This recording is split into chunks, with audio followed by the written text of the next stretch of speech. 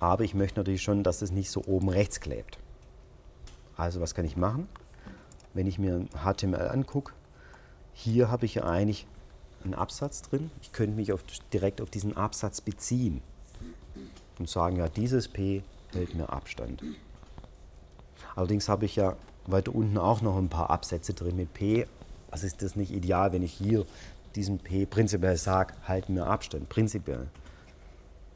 Kann ich noch überlegen, kann ich einen Typselektor machen, das wäre dann für alle Ps.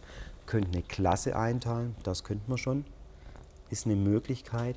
Ich habe aber auch noch jetzt als Neuerung hier, was man bisher noch nicht im Kurs hat, die Möglichkeit, mich auf Sachen zu beziehen, dass ich sage, nur alle Ps, die innerhalb dem Kopfbereich sitzen, kriegen bestimmte Sachen zugewiesen.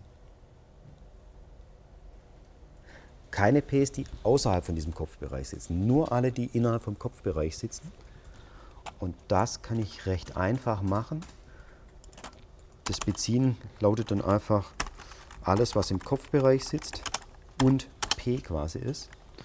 Das soll bestimmte Sachen zugewiesen bekommen. Damit ich mal sehe, wie sich das auswirkt, gebe ich auch dem hier mal diesen Background Color mit, und zwar in Rot. Jetzt müsste ja das P eine Hintergrundfarbe kriegen, in Rot. Wenn ich es mal anzeigen lasse, sehe ich Bereich Kopf. Bereich Kopf. Ja, wenn ich mich vertippe, ist schlecht.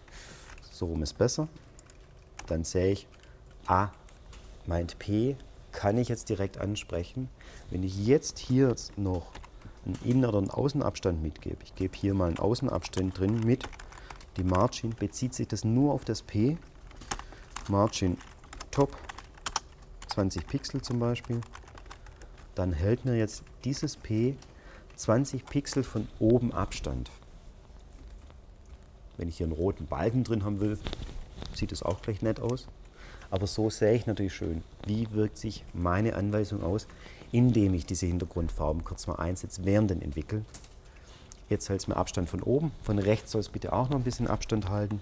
Auch das gebe ich im CSS noch mit, sprich Margin Right. Auch da 20 Pixel. Wenn ich es mir dann angucke, sehe ich, jetzt hält es auch da 20 Pixel Abstand. Und jetzt kann ich diesen roten Balken natürlich rausnehmen, weil jetzt weiß ich ja, wo arbeite ich denn. Diesen roten Balken kann ich jetzt mal auskommentieren, da kann ich ihn später auch wieder schnell einkommentieren zum Testen, wenn ich es brauche. Auskommentieren, diesen, diesen Slash, dann einen Stern. Alles das, was hier zwischen den folgenden Stern Slash sitzt, gilt dann nicht mehr. So kann ich Sachen kurz mal zunichte machen, ohne dass ich sie rauslöschen müsste kann natürlich hier auch mehrere Sachen umschließen. Jetzt gilt weder Margin Top noch Margin Right noch, noch äh, Background Color. Jetzt sitzt wieder rechts oben drin. Also das ist eine recht geschickte Sache im Endeffekt, um Sachen auch kurz mal zu testen. Weil manchmal macht man was und denkt, passt ja alles irgendwie nicht so, wie ich es mir gedenkt habe. Wo, an welchem Problem hängt es genau und dann ist geschickt, Sachen auskommentieren zu können. So das bitte jetzt bis zu dem Stand machen und gucken, dass es einigermaßen aussieht.